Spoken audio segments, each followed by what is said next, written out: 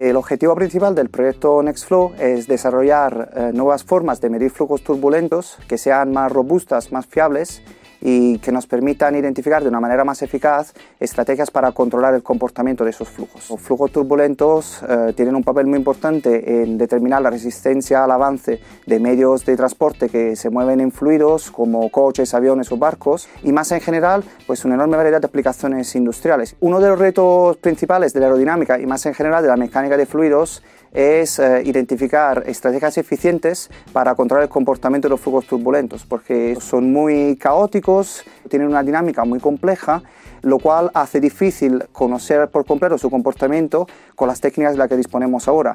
En Nextflow queremos abordar este problema siguiendo dos líneas de investigación principales. En la primera, buscamos eh, estrategias para eh, obtener descripciones completas del comportamiento de los flujos turbulentos, combinando distintas técnicas de medidas, cada una con su fortaleza. Y para ir más allá de la simple superposición de técnicas, vamos a utilizar como puente, como catalizador, métodos de la inteligencia artificial. La herramienta fundamental sobre la que vamos a construir es la velocimetría para imágenes de partículas volumétrica. Se basa en sembrar el flujo con eh, partículas muy pequeñas, micrométricas, que siguen con alta fidelidad el movimiento del flujo y luego las hacemos visibles con una luz láser y la miramos desde varios puntos de vista con varias cámaras simultáneamente.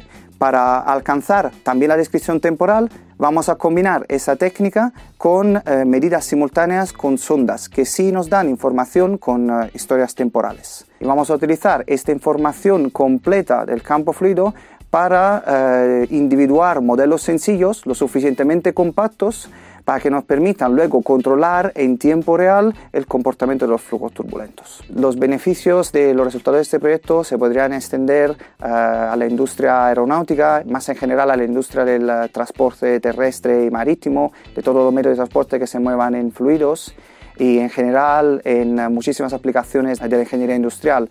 El proyecto Nextflow está financiado en el marco de las ayudas Starting Grant del Consejo Europeo de la Investigación. Se trata de una ayuda dirigida a proyectos que se consideran de alto riesgo, alto beneficio y tiene una duración prevista de 5 años, que es el horizonte, eh, lo que esperamos alcanzar los objetivos que nos hemos propuesto.